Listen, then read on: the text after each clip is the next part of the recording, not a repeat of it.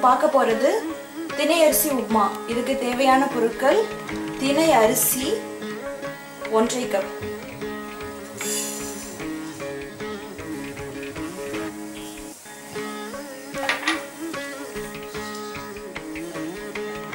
திணை அரிசி. இது கொஞ்சம் உருண்டை உருண்டையா இருக்கணும். திணை அரிசிங்கிறது. திணை அரிசி எல்லோ கலர்ல இருக்கும். கடலைப்பருப்பு உளுந்து கடுகு வெங்காயம் கேரட் உருளைக்கிழங்கு இஞ்சி பச்சை மிளகாய் கருவேப்பிலை கொத்தமல்லி உப்பு. எண்ணெய் தேவையான அளவு. இப்போ திணை அரிசியை நல்லா கழுவி என்ன பண்ணணும்னா ஒரு பதினஞ்சு நிமிஷம் ஊற வச்சுக்கணும். ஸோ இதை திணை ஊறினதுக்கப்புறம் திணை அரிசி இப்படி இருக்கும்? ஸோ ஊனா உங்களுக்கு நல்லா சாஃப்டா வரும். பதினஞ்சு நிமிஷத்துக்கு அப்புறம் வந்து இப்படி இப்படி வந்து என்ன எப்படி இருக்கும்னா? இருக்கும் பார்க்கவே நல்லா அழகா உருண்டை உருண்டையா இருக்குங்களே இப்படி வந்து பண்ணும்போது என்ன ஆகும்னா இது வந்து உதிரி உதிரியா வரும். தின உப்புமா. பண்ணும்போது உதிரி உதிரியா வரும். இப்போ வந்து வெங்காயத்தை கட் பண்ணிக்கலாம்.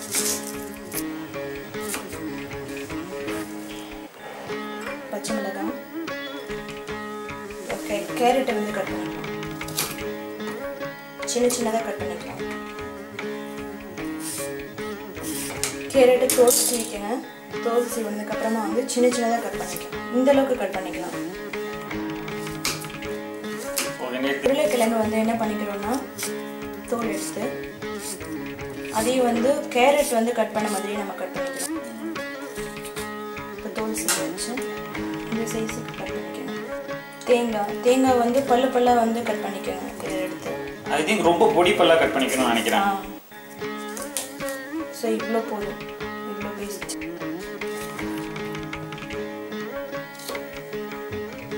அதுக்கப்புறம் வந்து இஞ்சி. ஒரு குக்கரை வந்து ஹீட் பண்ணிக்கோங்க. இப்போ வந்து ரெண்டு டேபிள் ஸ்பூன் அளவுக்கு கடலை எண்ணெய். எண்ணெய் காஞ்சிருச்சு. இப்போ வந்து நம்ம என்ன போட போகிறோம்னா காஞ்சதுக்கப்புறம் கடலை.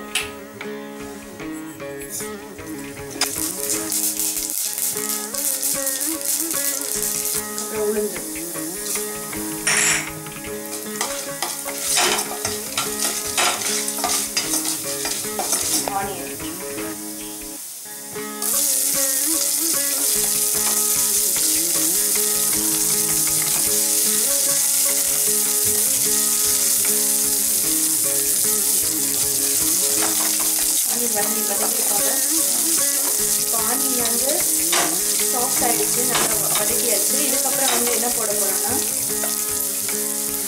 இஞ்சி.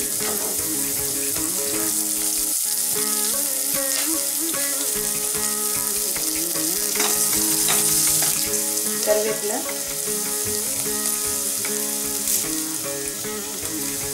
பச்சை மிளகாய். வதங்கிடுச்சு. ஸோ தேங்காய் கேரட்டும் அது ஒன்று போட்டுக்கணுமா? இதுக்கப்புறம் வந்து நம்ம என்ன போட உருளைக்கிழங்கு. அதுக்கப்புறம் கேரட் தேங்காய். அதாவது தேங்காய் பல்லு.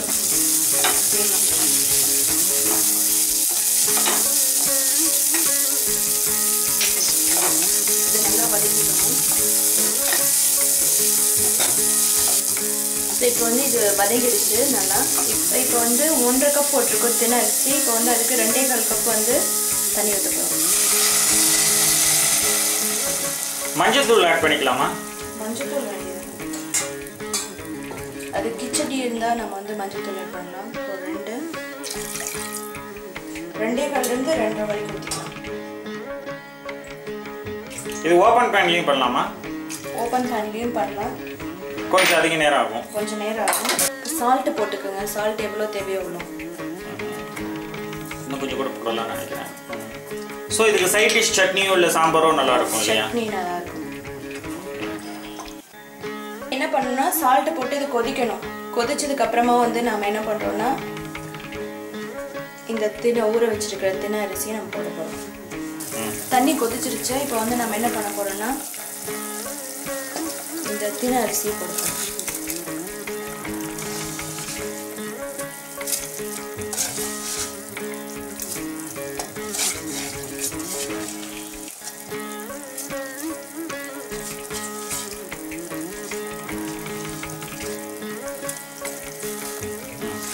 இது நல்லா கிளறி விட்டுக்கோங்க. இது எல்லாம் ஒன்றா வந்து என்ன செய்கிறோம் இதுக்கப்புறமா என்ன பண்ணுறோன்னா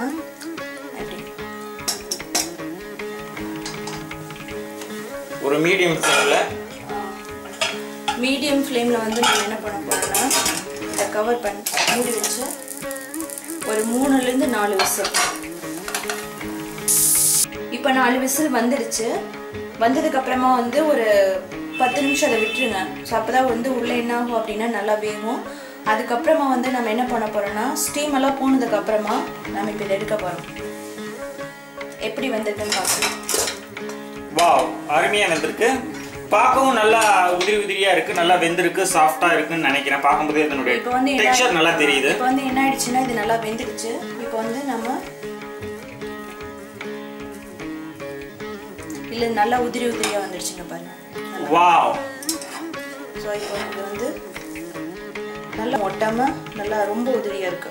நறுக்கி வச்சிருக்கிற இந்த கொத்தமல்லி தலை போடும் இதுக்கப்புறம் ஒரு கிளறு மட்டும் கிளறி விட்டுருங்க.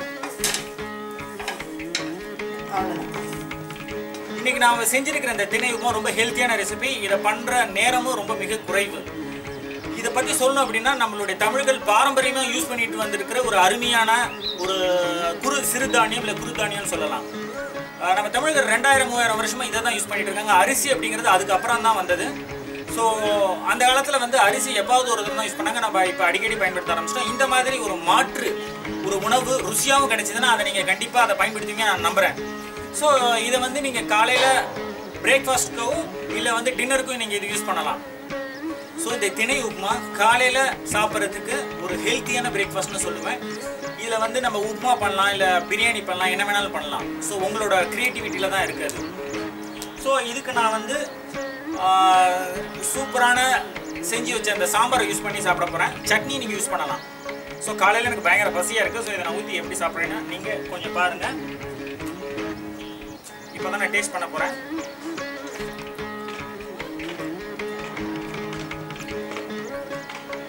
ரொம்ப சூப்பராக இருக்குது அது உதிரி உதிரியாக இருக்குது அந்த டெக்ஸ்டர் உங்கள் வாயில் போகுது. இந்த திணை உப்புமாவை ஓப்பன் பேன்லேயும் செய்யலாம். இல்லை வந்து ப்ரெஷர் குக்கரையும் செய்யலாம். ஸோ ஓப்பன் பேனில் செய்யும் போது உங்களுக்கு அதிக நேரம் செலவாகும். காலையில் நேரம் இல்லை அப்படின்னு சொல்கிறவங்க இதை குக்கர்லையும் செய்யலாம். இந்த தினம் என்ன இருக்குன்னு நான் தேடி பார்த்துப்போம். இதில் வந்து அரிசியில் இருக்கிறத விட கார்போஹைட்ரேட் கொஞ்சம் கம்மியாகவும் ஃபைபர் அதிகமாகவும் இருக்குது அதை விட மினரல்ஸ் விட்டமின்ஸ் எல்லாமே அதிகமாக நிறைஞ்சிருக்கு. இது ஜீரணத்துக்கும் நல்லா உதவுது. ஸோ டயபெட்டிக் பேஷண்ட்ஸ்க்கு இதை நிறைய விரும்பி சாப்பிட்றாங்க. ஸோ ராகி சாப்பிட்டுட்டு வந்தவங்க இதையும் சாப்பிட்லாம். இது டேஸ்ட்டாக இருக்குது யூஸ் பண்ணுங்க. ஸோ இந்த காலை நேரத்தில் இந்த அற்புதமான இந்த காலை நேரத்தில் இந்த மாதிரி ஒரு சுவையான உணவு கிடைச்சதுன்னா வேண்டாம் நான் சொல்ல போறீங்க. என்ஜாய் பண்ணுங்க.